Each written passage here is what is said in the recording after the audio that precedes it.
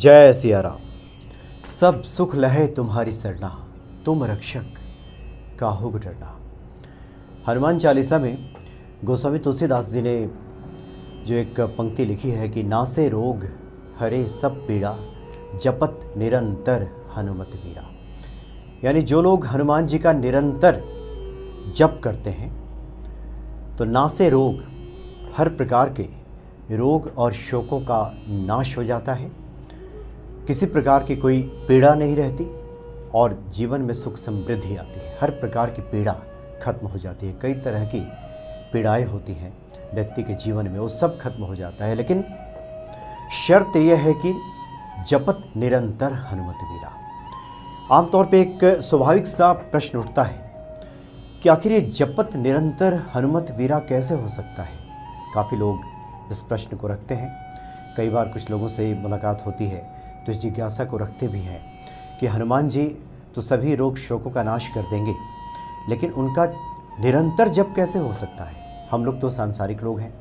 जिस वक्त हम अपने पूजा गृह में होते हैं, मंदिरों में होते हैं, या हनुमान जी से संबंधित कोई चर्चा चलती है, हनुमान जी का हम ये जो वीडियो देख रहे हैं, जब हनुमान जी की हम बातें सुन रहे हैं, तब तक तो ठीक है। हनुमान जी हमारे चिंतन में हैं, उनका भीतर ही भीतर जप चल रहा है। जपत निरंतर हनुमत वीरा, ये हो रहा है। लेकिन जब हम संसार में जाते हैं, अपने कार्यों में जब हम उतरते हैं, हम जब अपने दफ्तरों में जाते हैं, ऑफ़िस जाते हैं, वहाँ के सांसारिक प्रपंचों में पढ़ते हैं, खेत खलिहानों में जाते हैं, व्यापार स्थलों पर जाते हैं, वहाँ कई तरह की जो मुश्किल स्थिति आती है, ऐसे में भला जपत निरंतर हनुमत वीरा कैसे हो सकता है? रहीम ने कहा है कि अब रहीम मुश्किल भयो टेरहे दो काम। साँचे से तो जग नहीं और झूठे मिले न राम। बड़ी मुश्किल स्थिति है। सच बोलता हूँ तो संसार का काम नहीं होता, काम नहीं चलता। और झूठ बोलता हूँ तो राम दूर हो जाते हैं, राम नहीं मिलते। ये बड़ी मुश्किल स्थिति है। ये कैसे होगा? आम तौर पे इस तरह की जिज्ञासा रहती है, क्योंकि गोस्वामी तुलसीदास ने जब लिख दिया है कि जो भी निरंतर हनुमान जी का हनुमान जी का जप करेगा, उसके चिंतन में हनुमान जी रहेंगे उसके सभी कार्य हनुमान जी स्वयं संभाल लेंगे। ये संतों का अनुभव है, बहुत सारे ऐसे संत हैं, जो कहते हैं कि उनका सारा कार्य तो हनुमान जी संभालते हैं, सब करते हैं। ये संतों का निज अनुभव है, लेकिन ये होगा कैसे? इसको लेकर बहुत सारी जिज्ञासाएँ समय समय पे आती हैं कि क्या ये व्यवहारिक है कि हम निरंतर हनुमान जी का जप करते रह सकते हैं?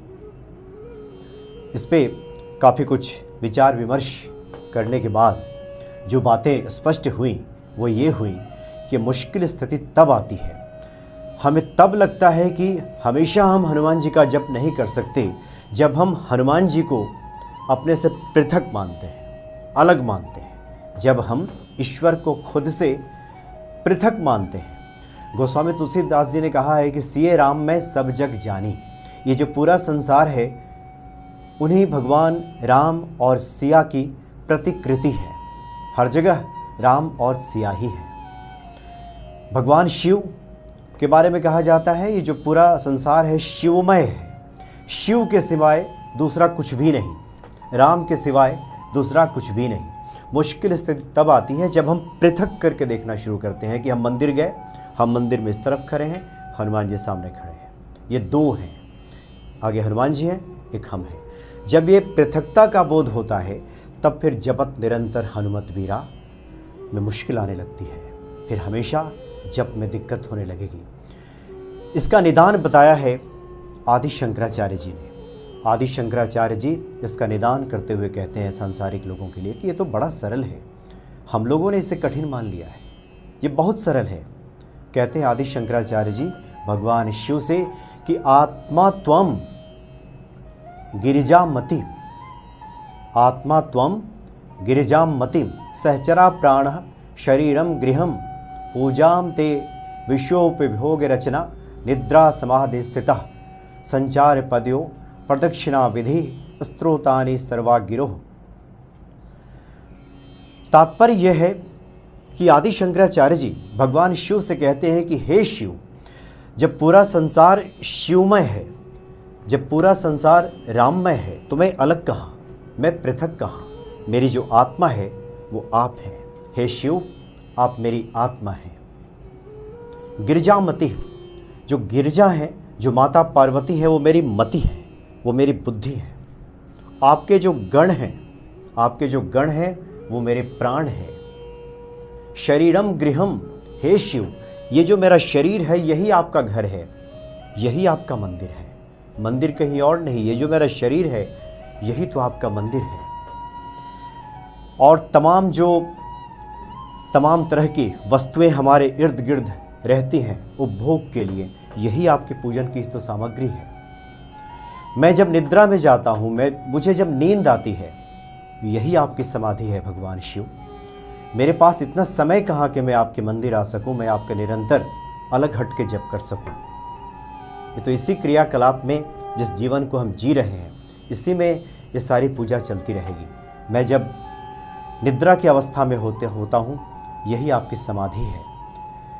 मेरे पाँव जब चलते फिरते हैं, अपने कार्य स्थल तक जाते हैं, खेत खलिहानों तक जाते हैं, व्यापार स्थल तक जाते हैं, ऑफ़िस में दफ्तरों से लौट कर जब हम घर आते हैं, ये जो आना जाना चलता रहता है, यही आपकी परिक्रमा है, यही आपकी प्रदक्षिणा है।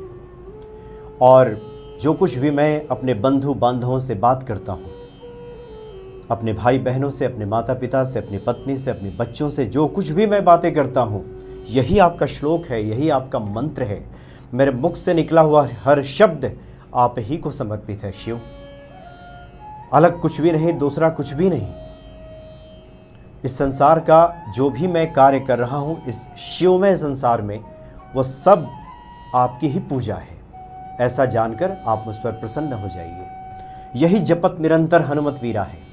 क्योंकि हम पृथक मान के चलते हैं। जब हमारी मति गिरिजा गिरिजा मति, जब हमारी बुद्धि स्वयं माँ पार्वती हो जाती है तो फिर हमें जब सद्बुद्धि आने लगती है तो हम जो भी कार्य करते हैं, उसमें सन्मार्ग से हटने का फिर सवाल ही पैदा नहीं होता। फिर आप देखेंगे कि निरंतर आप जो कार्य, अभी आपको लगता है कि आप खुद के लिए कार्य करते हैं, अपने लिए कार्य करते हैं, भगवान कृष्ण ने स्वयं कहा है कि जो अपने सभी कर्मों को कार्यों को मुझ को समर्पित कर देता है। वो फिर तमाम तरह के दुश्चिंताओं से मुक्त हो जाता है। तमाम तरह के जो उसको कर्म फल है, वो बांधते नहीं है। वो कर्म फल में बधता नहीं है। और यही बात आदि शंकराचार्य भी कह रहे हैं। जब भगवान शिव की आराधना कर रहे हैं और यही बातें गोस्वामी तुलसीदास जी भी कर रहे हैं कि जपत निरंतर हनुमत वीरा। ना से रोग, हरे सब पीड़ा जपत निरंतर हनुमत वीरा। जब हर क्षण हमारे मुख से निकला हुआ हर शब्द जब हनुमान जी की आराधना बन जाएगा। क्योंकि जो सांसारिक आवश्यकताएँ हम उसी की पूर्ति में तो लगे हैं, उसी कार्य में लगे हैं। क्योंकि जो साधु सन्यासी हैं, जो निरंतर पूजा पाठ में लगे रहते हैं, उनकी बात अलग है। लेकिन जो लोग संसार में हैं, जो संसारिक कार्यों में, जिनको प्रवृत्त होना पड़ता है, तमाम तरह की माया प्रपंचों के बीच में रहना पड़ता है, उनकी मति अगर गिरजामती हो जाएगी, यानी कि माँ पार्वती जिनकी बुद्धि बन जाएँगी, जो सन्मार्ग पे चलने लगेंगे, इस भांति वो अपना कर्म करेंगे, कर्तव्य करेंगे। तो यही तो भगवान शिव की पूजा है। ये आदि शंकराचार्य इसको बड़े ही सुलभ करके, बड़े ही आसान शब्दों में समझा रहे हैं। इसलिए हनुमान जी का भी निरंतर जब चल सकता है, चिंतन चल सकता है। आप हनुमान जी को पृथक करके न माने। हनुमान जी की ही प्रेरणा से सब होता है। हनुमान जी की कृपा से सब संभव होता है।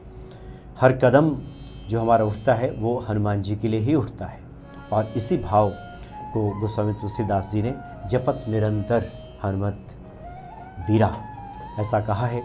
तो जिनके मन में भी निरंतर हनुमत नाम चलते रहता है, इस भांति, इस भाव से इस संसार को देखते हैं, इस भाव से इस संसार के कार्यों का निष्पादन करते हैं, उनके लिए फिर अलग से किसी जप की आवश्यकता नहीं होती। वो तो हम सुबह स्नान आदि क्रिया से निवृत्त होकर के धूप बाती दिखा करके एक नियमों के तहत तो हम हनुमान जी की आराधना करते ही हैं। लेकिन ये आराधना तो निरंतर चलती है। आप किसी भी कार्य में हैं, आप करके देखिए। आप जैसे ही हनुमान जी से एक कारिता स्थापित करेंगे, उनसे प्रार्थना करेंगे कि हम उनसे अलग कहाँ। सोई जाने हो, जही दे जनाई। यानी कि आपको वही जान सकता है जिसको आप जनाना चाहते हैं और जानत तुम्हें तुम्हें हो ही जाए। और जो आपको जान जाता है, वो आप जैसा ही हो जाता है। ऐसा गोस्वामी तुलसीदास ने लिखा है। तो जपत निरंतर हनुमत वीरा, आप कर सकते हैं हमेशा, अगर इस भाव से हनुमान जी का आप सुमिरन करें। क्योंकि हनुमान जी परम दयालु हैं।